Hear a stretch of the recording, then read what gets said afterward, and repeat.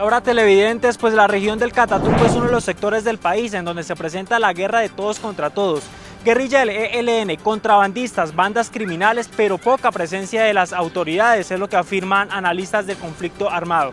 Cable Noticias, por medio de sus fuentes, conoció que en los próximos días las autoridades emitirán una alerta temprana de la situación de orden público que se presenta en esta parte del norte de Santander, en donde se comienzan a ver reclutamientos a menores de edad por parte de actores armados y también desplazamientos masivos de las comunidades. Veamos el siguiente informe.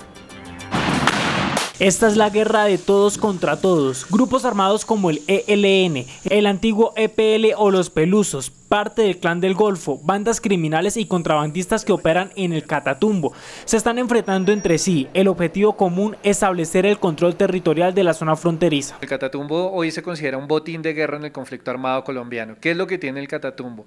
Tiene primero lo que se llama un ángulo muerto y es la posibilidad de que los grupos armados colombianos pasan la frontera con Venezuela y justo al otro lado del río se quedan, instalan los campamentos y saben que las fuerzas militares y la Policía Nacional de Colombia no los puede perseguir, pero que la Guardia Nacional Venezolana tampoco llega hasta ese punto. Delitos como el narcotráfico, minería ilegal, tráfico de armas y combustible de contrabando son los que se registran en los 11 municipios del Catatumbo. Entonces las fuerzas militares tienen un componente de fuerza importante, pero lo que no hay es una presencia habitual del Estado. No hay infraestructura y no hay una oferta estatal. Según los analistas, las autoridades empezarán a emitir alertas tempranas, ya que comienzan a identificarse algunos casos de reclutamiento de menores y desplazamiento masivo sí se ha incrementado nuevamente el tema del desplazamiento forzado por la llegada y la presión de estos, todos, de estos grupos armados a todas las comunidades que hay en el Catatumbo. El informe más reciente de la Defensoría del Pueblo afirma que en lo que va del año ya son 17 asesinatos a líderes sociales en norte de Santander. Wilmer Burbano, Cable Noticias.